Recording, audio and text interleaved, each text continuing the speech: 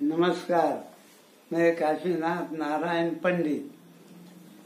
आज आपके सामने जिसे पद्म भूषण और पद्म विभूषण से सम्मान से नवाजा गए हैं, ऐसे भारत के उद्योगपति माननीय रतन नवल ताता जी का कुंडली का विश्लेषण करने जा रहा हूँ।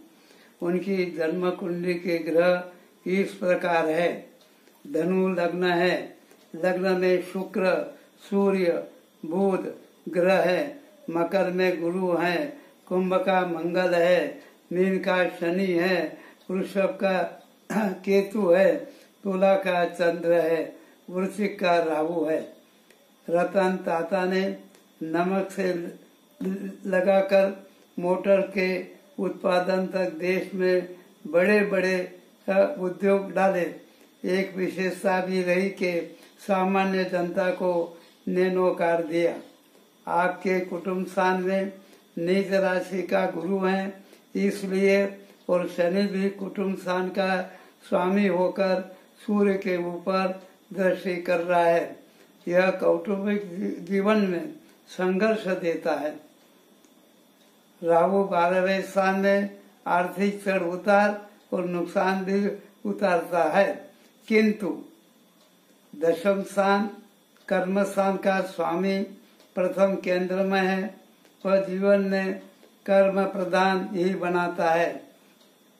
मगर भाग्य का स्वामी साथ में है। इसलिए प्रखर चिंतक भी बनाता है।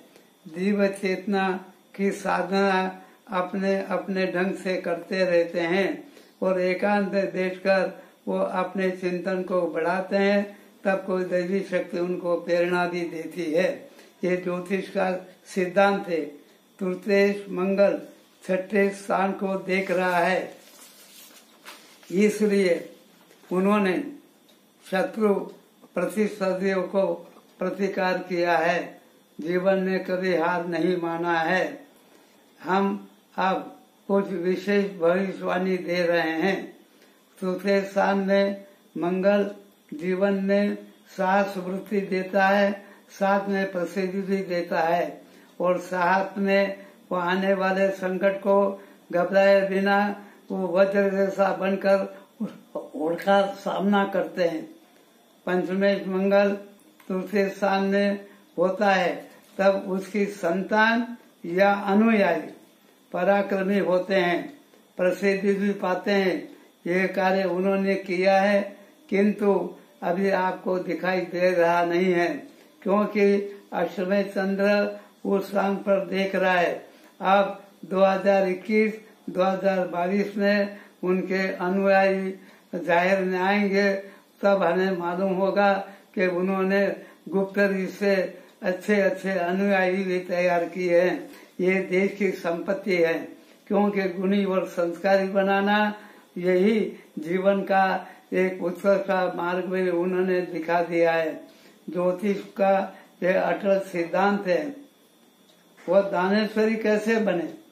बारहवें स्थान में राहु पड़ा है, धन में गुरु नीच का है तो ये प्रभु कहाँ से आया? धन स्थान में गुरु और केंद्र ससुर सामने शनि है, उसका परिवर्तन हुआ है। लास्ट का स्थान के स्वामी के साथ उनका संगम हुआ है। इसलिए वो आर्थिक सामना करते हुए भी 1500 करोड़ रुपयों का दान प्रधानमंत्री राहत फंड में देकर पीड़ितों का जीवन बचाया है। कोरोना महामारी में करुणा दिखाई है। ये नवोस्थान के सूर्य ने केंद्र में रख कर दिया है। यह उनका स्वयं निर्णय है। वो स्वयं निर्णय है। स्वयं निर्णय है। किसी ने कुछ कहा नहीं है। ये भी इतिहास उनको अमर करके रहेगा। मैं पारसी समाज को नतमस्तक बंधन करता हूँ। क्यों? कि पारसी विदेश से गुजरात ने संजान बंदर में उतरकर शासक को यह कहा कि हमें रहने की मंजूरी मांगी। कितना विवेक और दूरदृष्टि से उन्होंने मर्यादा संभाली है और बिना परवानगी के देश में नहीं आए। यह भी एक उनके संस्कार है, उनकी परंपरा है, किसी को दगा नहीं करना है। और इसी पारसियों ने दूरदर्शी से वचन दिया कि आपने दूध भेजा है हम उसमें शक्कर डालते हैं, हम मिल जाएँगे। ये वचन को आज तक पाला है। इतना वचन पाने में कितने सदियों निकल गए, मगर ये बात अमर रहेगी। साथ में भारत को प्रखर तेजस्वी नेता, सेनापति शूरवीर अधिकारी, उद्योगपति और सरकारी कर्मचारी दिए हैं। और ये भी एक इतनी महिमा, ये छोटा समाज मुट्ठी भर समाज कितना बड़ा काम करता है, उनकी संख्या से भी ज़्यादा काम किया है। देश में शांति और कर्तव्य निष्ठा का संदेश भी दिया है। वो हिंसा से दूर रहते हैं और रचनात्मक कार्य में के नज़दीक आते हैं। मैं भी अहमदाबाद के पारसी बंधुओं के निकट रहा हूँ। यह तेरे प्रसंग में यहाँ विदित कर रहा हूँ। वंदे मातरम। Vande Mataram Thank you.